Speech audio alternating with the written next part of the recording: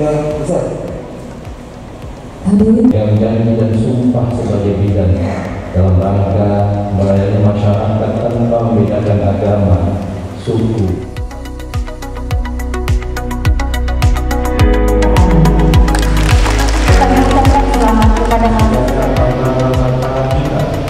terutama di pembinaan dan ini